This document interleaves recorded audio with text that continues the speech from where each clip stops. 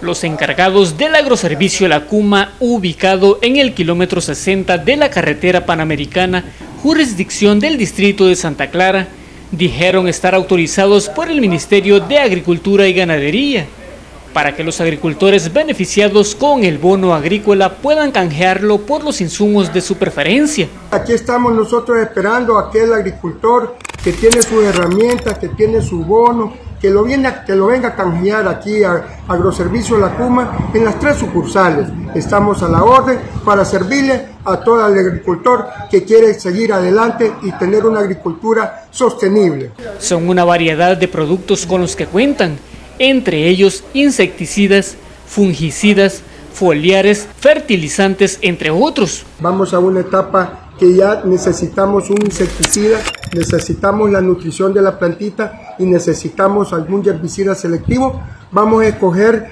unos combos que lleve nutrición, que lleve control de plagas y que lleve sellador para que él tenga un mejor manejo, un mejor rendimiento el bono tiene un valor de 75 dólares y en este lugar dijeron que los agricultores son orientados para que elijan el producto que mejor les puede funcionar en sus cultivos. Si usted es de las personas que resultó beneficiada con el bono agrícola, este lugar se convierte en una excelente opción para canjearlo. Para Canal 31 San Vicente informó Juan Martínez.